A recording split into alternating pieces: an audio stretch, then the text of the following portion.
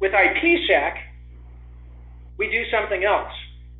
We have the ability to allow an administrator to rewrite, replace, or add new profiles to that IPsec client. Now, you may already have an existing IPsec deployment. You may have multiple headends. You may have many users. And now you've decided, okay, I can do a better job securing my VPN using SecureAuth. And you can designate the profile names that we will go in and rewrite and bind to the certificate authentication. This means that we're not going to go and we're not going to wipe out other stuff that that client may have configured. Maybe it's a contractor, maybe it's an employee with uh, profiles for other Cisco IPsec connections. We are not taking a sledgehammer. It's a finesse solution, administrator controlled. We can completely replace existing profiles. So if there's an Irvine IPsec profile and the administrator decides that Irvine has changed, maybe it's going to get a new IP address. Maybe you're migrating ISPs and you don't want to have to create all new profiles, redistribute it in an IPsec installer, and have all of your end users reinstall IPsec. Or maybe you don't want to build them and email them out and have people drop them into the right directory, or maybe you don't want to have to provide written instructions to have your end users go in and modify the connection profiles to work with the new connection parameters, the administrator can simply have them go through enrollment and replace those profiles. Or let us say that you've added a new VPN entrance point for your network. We can add new profiles as well. So not only have we found a way to secure the IPsec connection, but we've also created an administrative tool that can reduce the administrative burden of the IPsec client, period. And this is what we do. We're eliminating the shared secret password. We're binding it to a certificate that, that will not be able to leave that system using very specific data so that there is no confusion. And this is part of the magic. We go in, we rewrite these things, we bind them into the strong authentication, and now you have strong security and you have a whole new administration tool. Now, as I've mentioned, we integrated this first with Cisco's SSL VPN. A lot of people are afraid to deploy SSL VPN because of the security model. They don't understand it or they haven't tried it. Maybe it's not tried and true, it hasn't been around as long, but I'll vouch for it that it is a very strong, secure solution. Adding a certificate to that and using some of the other tools in the Cisco SSL VPN can extend the security of a Cisco SSL VPN, VPN beyond what your IPsec client currently offers you.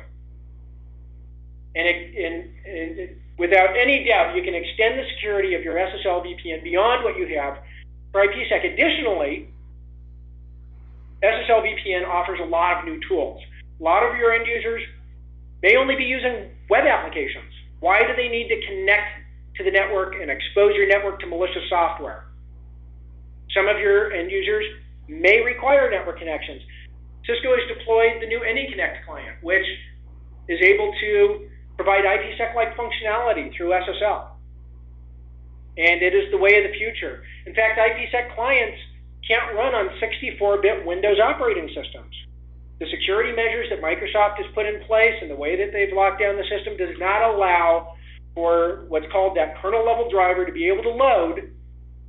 So for 64-bit Windows systems, AnyConnect is the only solution.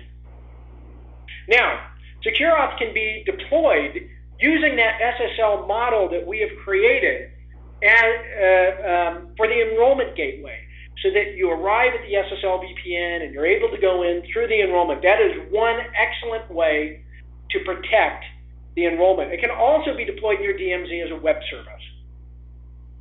Now, if you decide that you want to secure your IPsec using certificates, in this easily managed end user self service model, it also immediately provides you with the strong authentication credentials that you would want moving into a migration to SSL. It gives you the opportunity to create a secure model so that you can experiment with the SSL VPN, find how it can reduce the cost and improve the ease of use for your end users for your organization, and now migrate them. Or maybe you don't want everybody moving at once. You have legacy IPsec, you want to start deploying certain services on your SSL. This is a great way to provide stronger security to both of those access methods with better administration and man- manageability of your IPsec clients now than, than you would have had before using the SecureAuth product. Now, additionally, as Christian mentioned earlier, SecureAuth integrates with web applications as well OWA, SharePoint, other web services. We can do a lot with SecureAuth. And it, the credentials that are deployed for use by IPsec and for use by the SSL VPN, not only are those compatible, those two remote access services, but those same credentials are compatible across the product line.